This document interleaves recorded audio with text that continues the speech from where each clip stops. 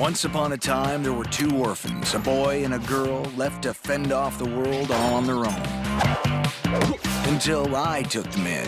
I'm Al. I run the Academy, a training ground for boys and girls of um, unique talents.